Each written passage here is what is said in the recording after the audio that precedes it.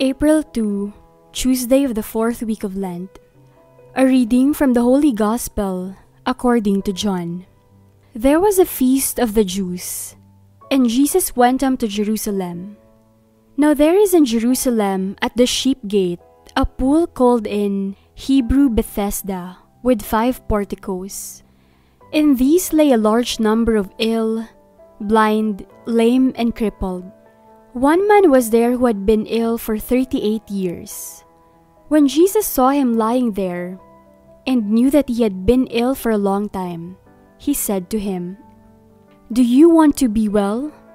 The sick man answered him, Sir, I have no one to put me into the pool when the water is stirred up.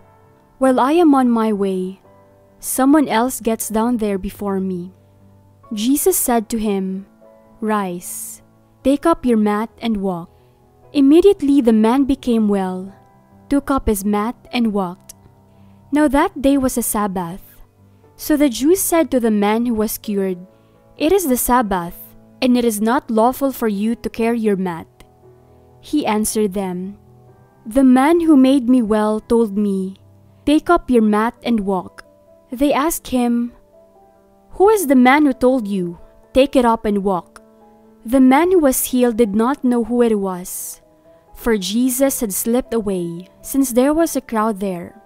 After this, Jesus found him in the temple area and said to him, Look, you are well.